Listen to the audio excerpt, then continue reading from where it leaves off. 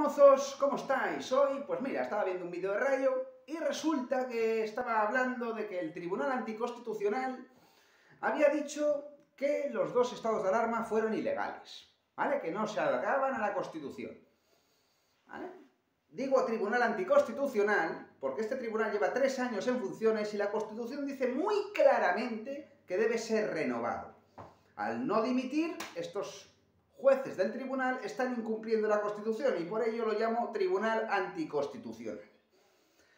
Sigamos. Rayo, según él, decía que el estado de alarma lo habían dicho que es anticonstitucional porque se había pasado de la raya, pero no, realmente no, Rayo. Te estás equivocando y muchísimo.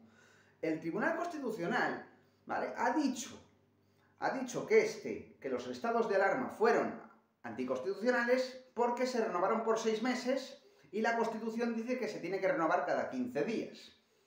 Pero esta Constitución fue escrita por gente que jamás había vivido una puta pandemia. Así que el gobierno, en un acto de sentido común, dijo, en vez de estar aquí discutiendo con los niardentales de la derecha cada 15 días, pues vamos a renovarlo por 6 meses. Que acabamos antes y nos dedicamos a lo que nos tenemos que dedicar. A buscar respiradores, buscar mascarillas, buscar la vacuna, mirar de formular, formular leyes, restricciones para evitar los contagios, pues la faena que ha dado la pandemia, que ha sido mucha, ¿vale? Y lo mejor de todo esto es que se pone rayo a pedir responsabilidades políticas al gobierno cuando este gobierno ha convertido España en un oasis del COVID. Tenemos una incidencia de 51. Una incidencia de 51. El, el que menos tiene en Europa tiene 90 y el que más 800. Estados Unidos, las muertes han superado, en Estados Unidos, que le encanta rayo este país, Inglaterra, los países nórdicos, las muertes han superado a la gripe española ya. Y en España no, ha llegado ni a la mitad de la gripe española. Y aquí, pues nos está diciendo Rayo que tiene que pedir responsabilidades políticas. Señor Rayo, pide usted responsabilidades políticas a la señora Ayuso por haber dejado morir a 8.000 ancianos en las residencias.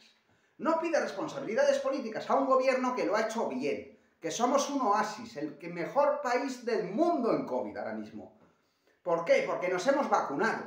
Sin embargo, tus partidos fetiches dicen a la gente que no se vacunen, ¿vale? Que hay 4 millones de personas que no se quieren vacunar. Qué casualidad que vos tenga 4 millones de votantes.